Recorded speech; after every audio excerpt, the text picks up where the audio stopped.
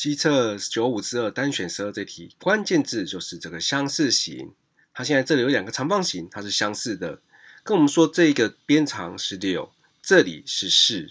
那其实呢，我们就知道这两个的大小比是会是三比上二，所以对应边就会是三比二。那所以这里的边长我们可以假设成三 t，这里假设成二 t。那三 t 加二 t 其实就会等于这个二十五。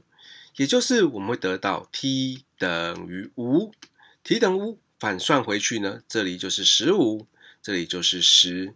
所以今天大的 A、B、C、E 的面积就会是六乘十五等于九十，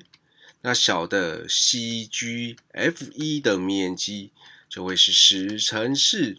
等于这个四十，所以这两者相加，我就得到了这个一百三。所以答案呢，就是这个选项 D。